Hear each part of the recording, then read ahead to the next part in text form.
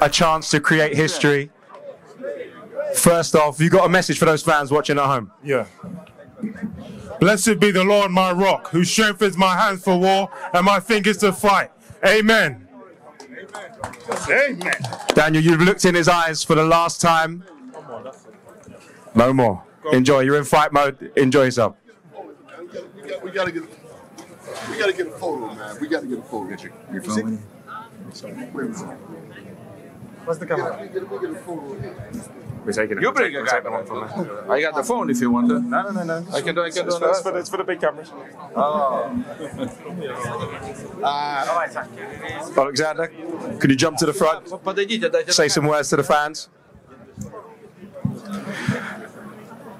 Alexander, you know and love this place. It's a place that, that holds a, a special point in your heart. You've already won here. How nice is it to be back in Wroclaw? Uh, I like stay here. I like this city, but it's a good place. It's a chance to break British fans' boxing hearts once again. What is it so much about fighting those Brit heavyweights? Um, uh, great, but uh, heavyweight. It's it's dream uh, all boxer who boxing, but it's uh, it's king uh, weight just the 12 pounds of difference between you and Daniel, fifth fight up at heavyweight. It feels like you you really are a natural heavyweight now. Are you comfortable at the weight at the moment? Все одно все 12 паундів різниця. Ти тепер виглядаєш як дійсний хевівейт. Listen. Ти відчуваєш себе хевівейт. Uh, for me, it doesn't matter, but I uh, I boxer.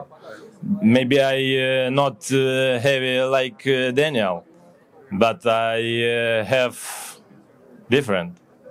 I have heart. And heart is what we need. Now, here is going to be a sea of blue and yellow flags as you walk into the stadium.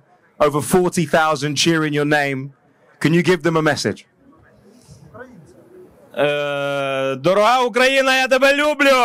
Слава Україні! There we go.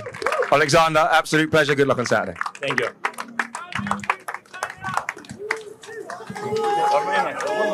Good job. man. Good job.